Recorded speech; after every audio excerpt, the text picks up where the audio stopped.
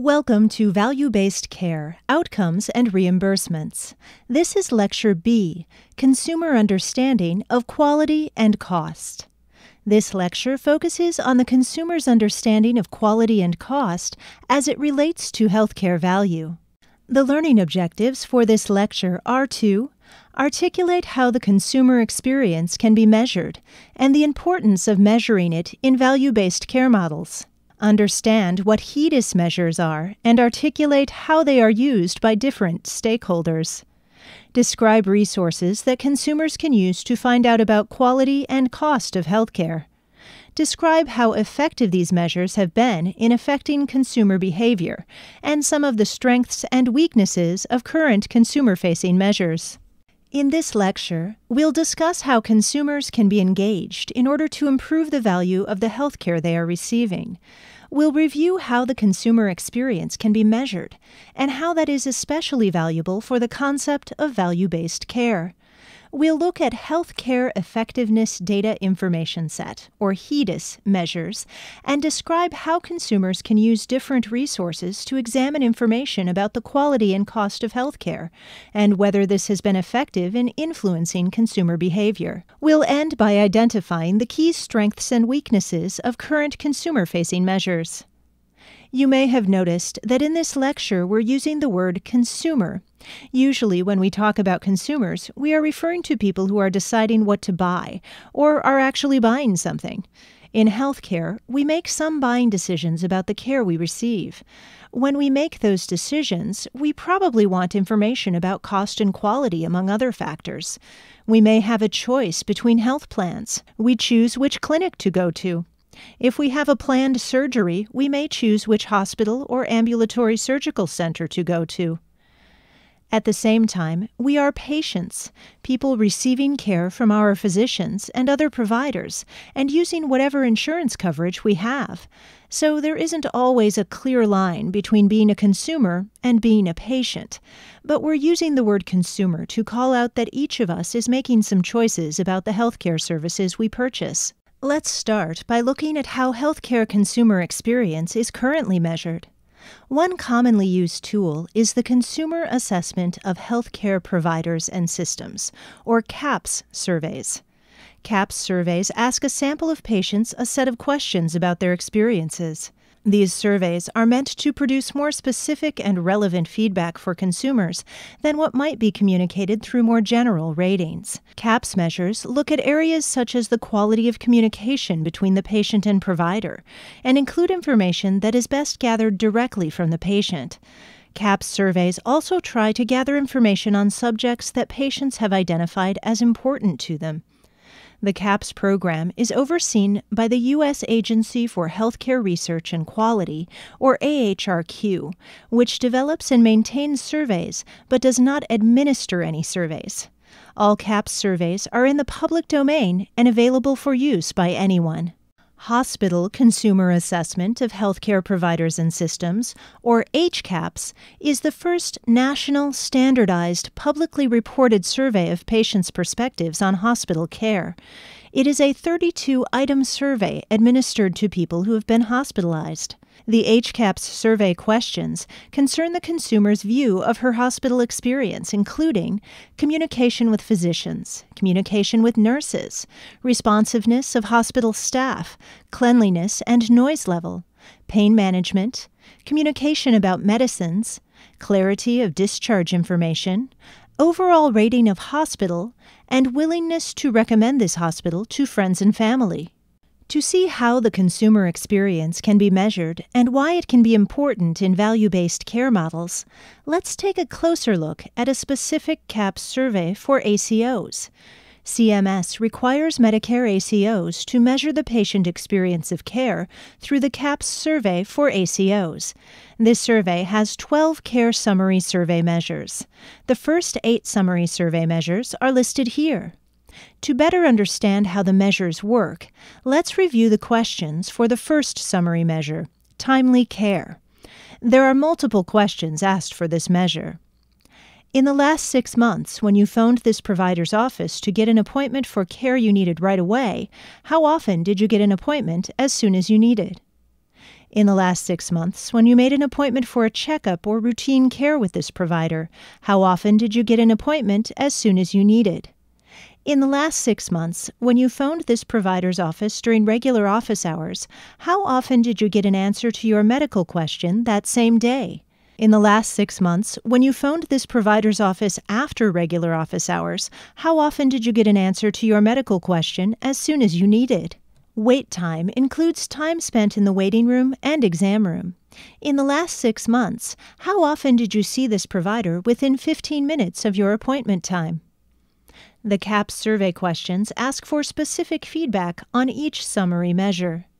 The last four measures, shown here, are not part of the payment calculation for ACOs, but the information is provided back to the ACO. Remember that ACO beneficiaries can choose to go outside the ACO for care, so each ACO should be very interested in hearing this feedback. CMS requires Medicare ACOs to have the CAP survey for ACOs done each year. The surveys must be done by a CMS approved vendor.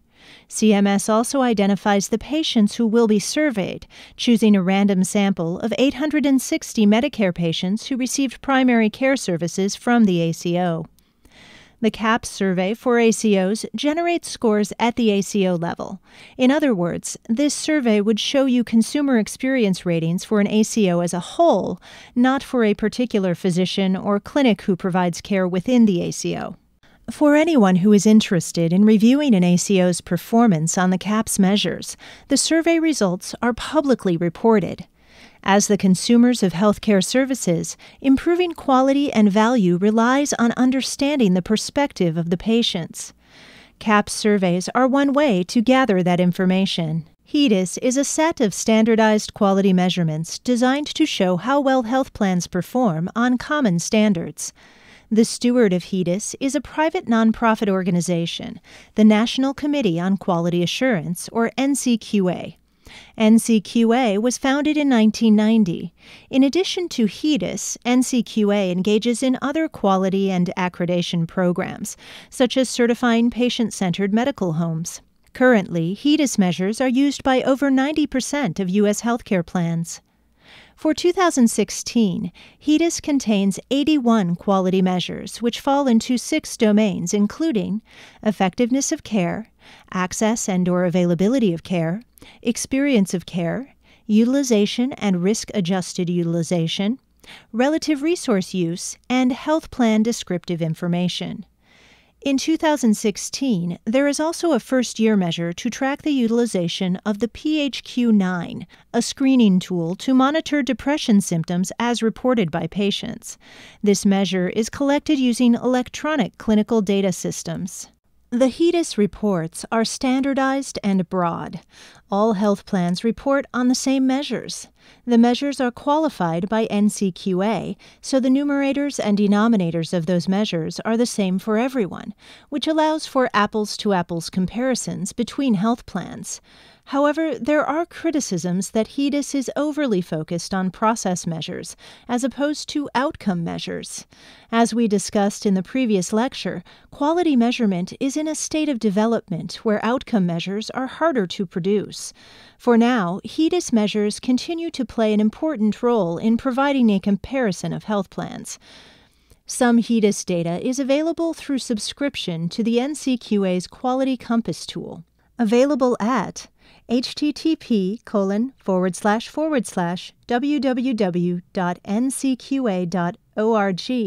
forward slash HEDIS dash quality dash measurement forward slash quality dash measurement dash products forward slash quality dash compass. This can be used for comparisons with competitors and benchmarking plan performance. HEDIS provides reports that can be used by health plan buyers. Employers can look at HEDIS reports and see the overall quality of an individual plan, and then they can compare it to other health plans. However, there is a lack of employer awareness of HEDIS. Besides employers, consumers also use HEDIS reports. Consumers can access some HEDIS data through a public report, the Annual State of Healthcare Quality Report. HEDIS also includes a CAHPS survey on health plan member experience, including claims processing and getting and getting needed care quickly. Consumer Reports magazine takes HEDIS information and provides it to consumers who are looking at buying health plans. The HEDIS reports are also used by the Centers for Medicare and Medicaid, or CMS, to create star ratings for different insurance plans. Large state entities that contract with health plans to provide Medicaid services often use HEDIS reports too. Here is an example of a HEDIS report. In this example, United Healthcare is the insurance provider. This screenshot is just a very small portion of the multiple screens for United Healthcare plans in the 2015 16 summary report. The report indicates that the United Healthcare plans are not the highest performers in the states in the plans that are shown. This data could be used by employers in those states comparing the results with United Healthcare in other states, or to compare with other health plans operating in their state when they are in contract discussions for the next benefit year. If the scores are low on prevention services, an employer could ask the health plan to increase employee communications around the importance of preventive services. The overall effect, if any, that HEDIS has had on the cost and quality of care is not well documented. Nonetheless, HEDIS continues to be an important standardized measurement and one of the efforts that have been made to measure quality and value of healthcare. The Choosing Wisely campaign is a nonprofit sector effort to reduce overuse of healthcare by developing patient friendly educational materials and promoting conversations between patients and providers about tests and procedures that are often overused.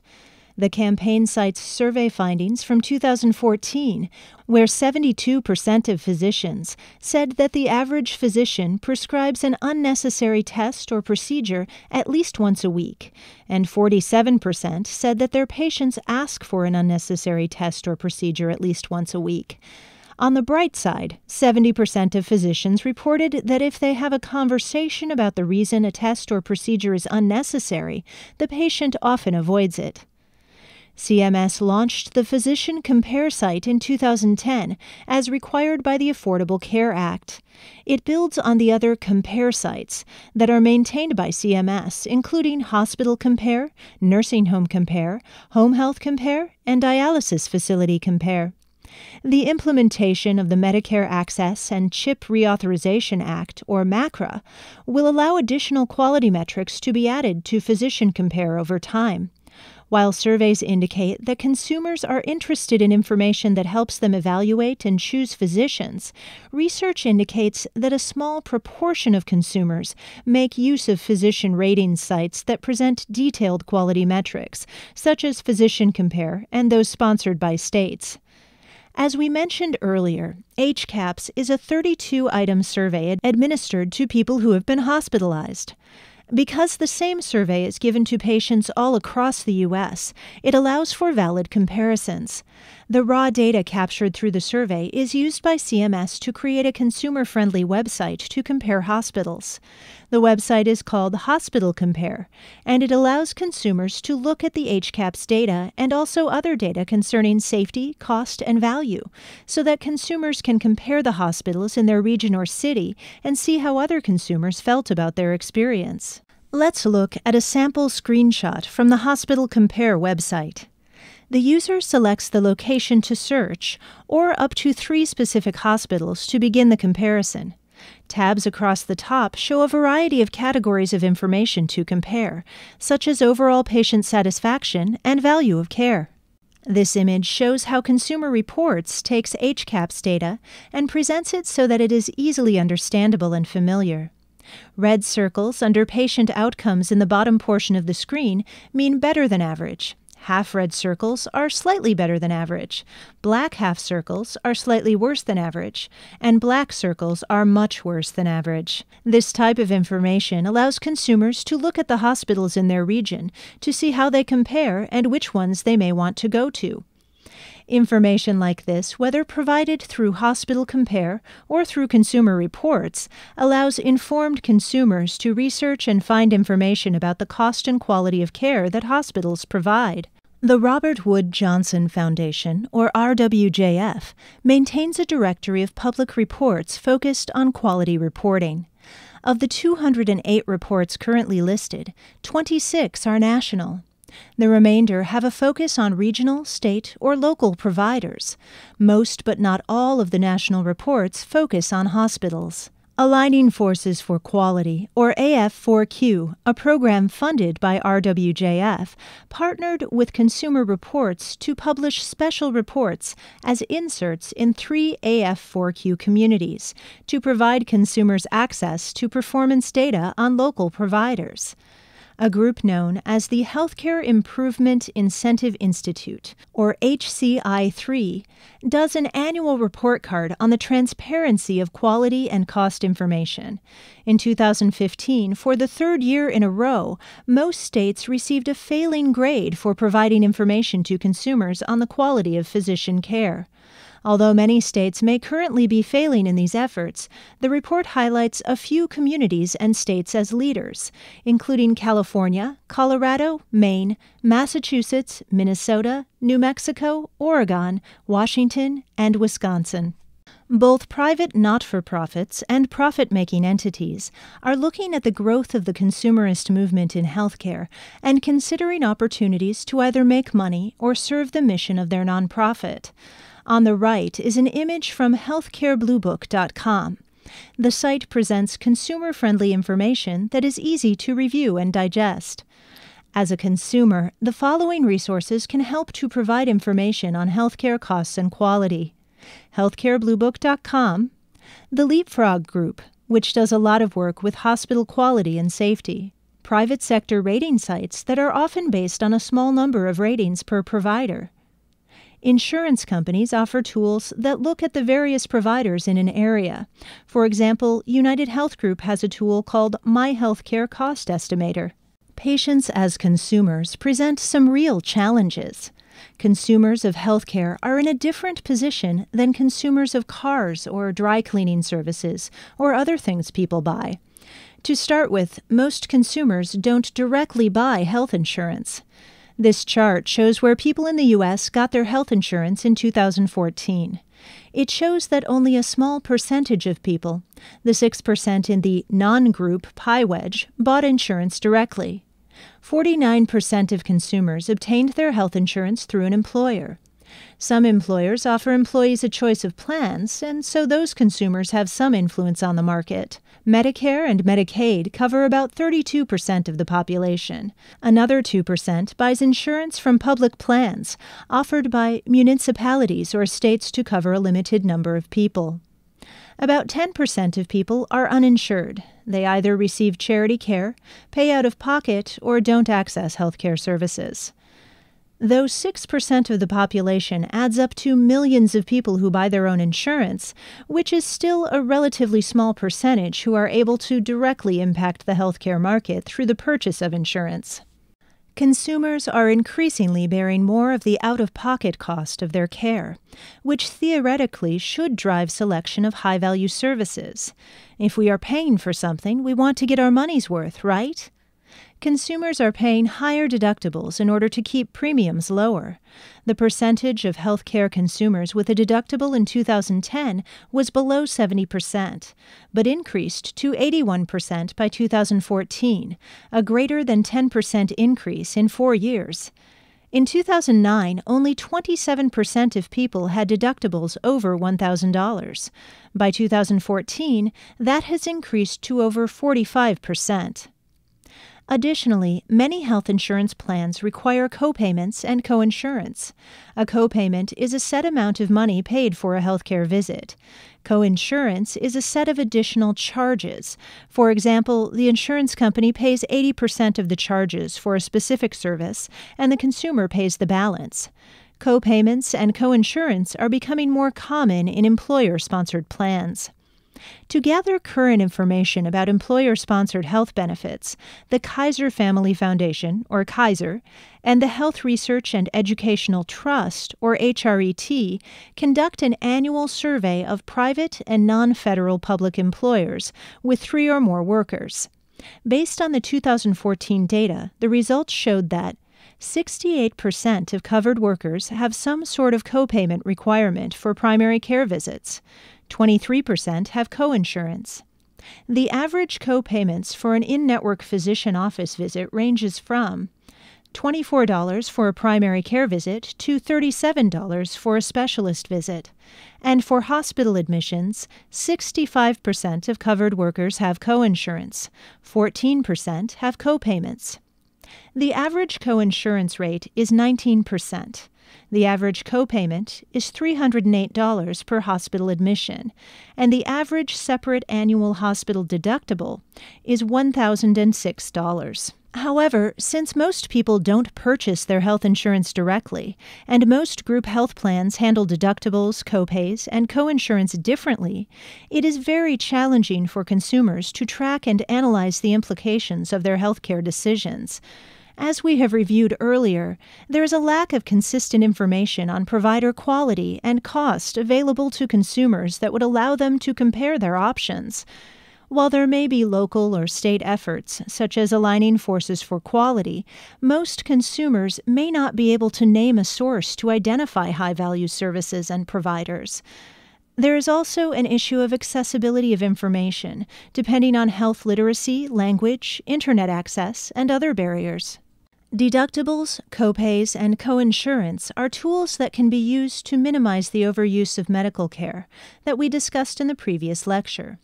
Remember some of the differences between HMOs and ACOs and how they try to balance the delivery of healthcare services?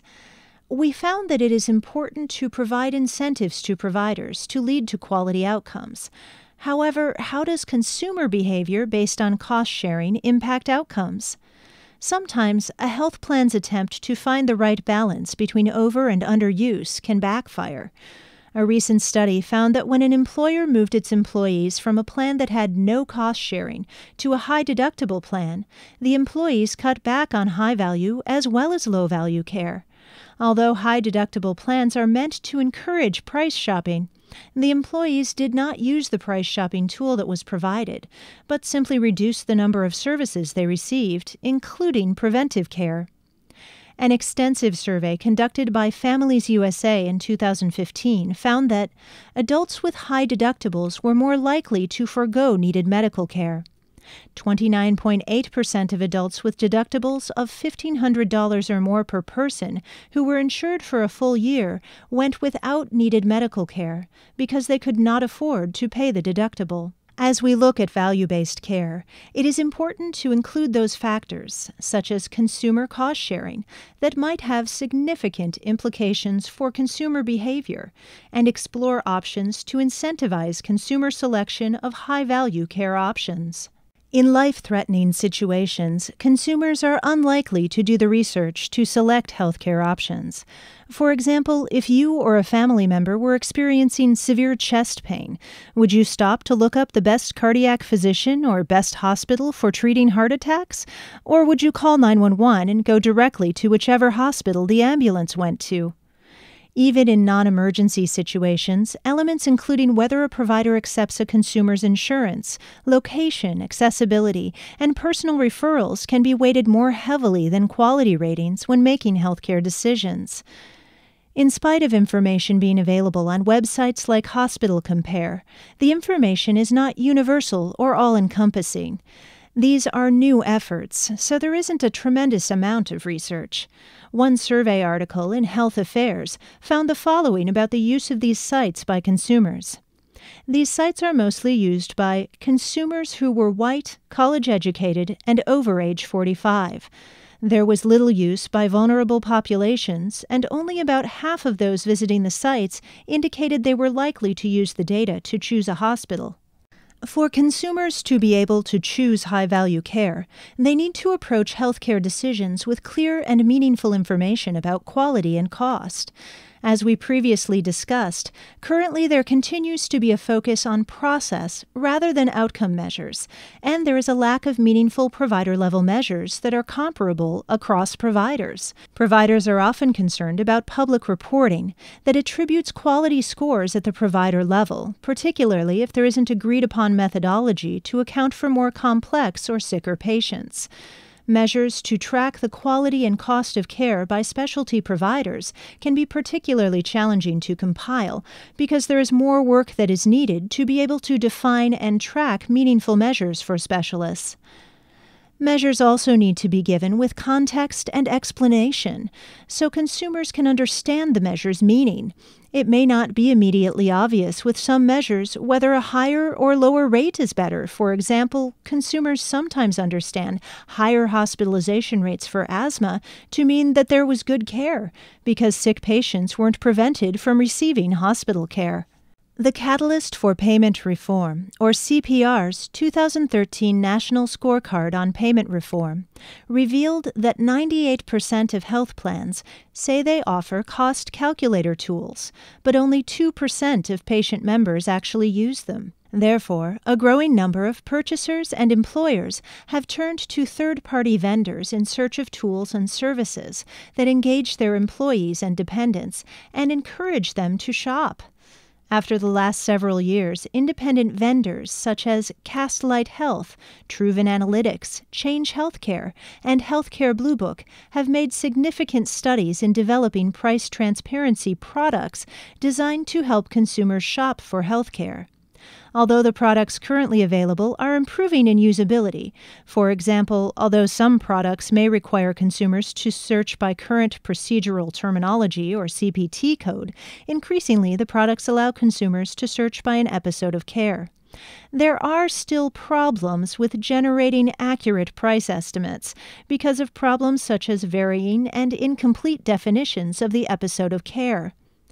In most parts of our lives, we have access to huge amounts of information about the purchases we wish to make, and we use that information to make rapid, high quality, informed choices.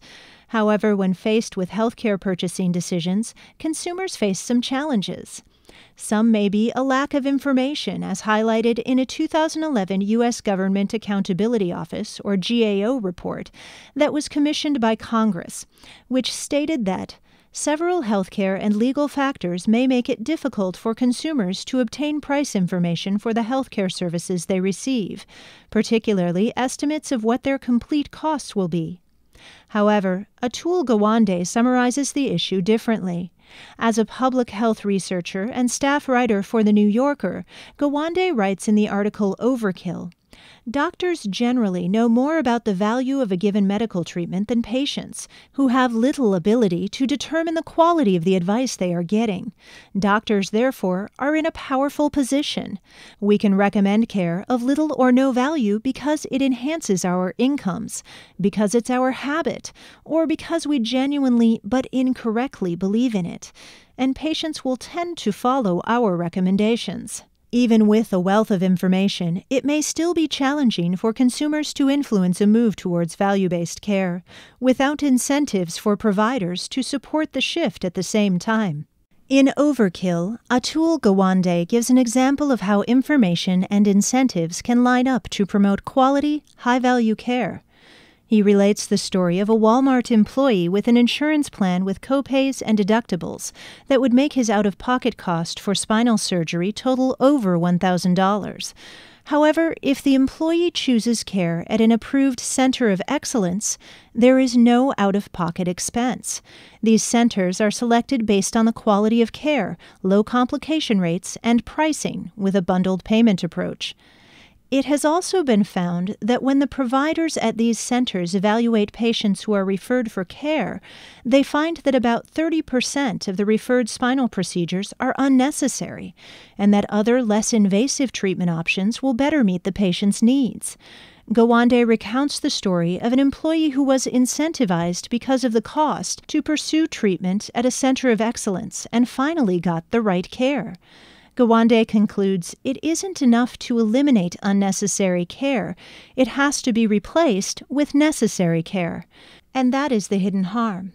Unnecessary care often crowds out necessary care, particularly when the necessary care is less remunerative. Walmart, of all places, is showing one way to take action against no value care, rewarding the physicians and systems that do a better job and the patients who seek them out.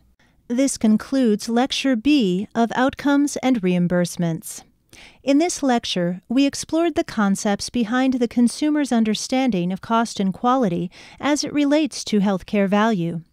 We explored the concept of having consumers bear more of the burden of costs through high deductibles and found that they reduce utilization, but that they also may have an overall reduction to overall health. We found that if people have to pay more for health care, they consume less of it. Just as there needs to be incentives for providers in the ACO model to provide quality care, there need to be incentives for consumers to choose high value care so that they don't avoid necessary care, putting off important medical procedures when the cost is too high. We examined the resources that consumers have available to find out about cost and quality. In spite of sites like Hospital Compare, it is still unknown whether there is adequate availability of information to help consumers make informed choices to increase the quality and value of the healthcare they access. These are new efforts without enough research available at this time to determine whether consumers can drive improvement toward value based healthcare based on their actions.